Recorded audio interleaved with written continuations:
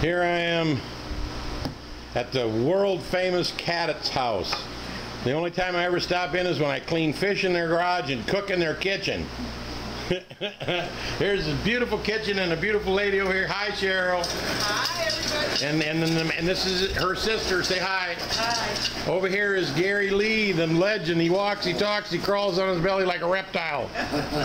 Back here is pretty Miss Sheila. Hi, Shishi. Hi. But the main thing, the the center of attraction is a big platter of golden brown yellow belly bullheads that I cleaned with cut up the back, pop the backbone, shuck them out. You can clean about three a minute, and they're absolutely delicious. And we even have some fish eggs because I like bullhead eggs, and there they are, all fried up golden brown. Excuse me. Mm. mm, mm, mm eh, Aren't they good looking?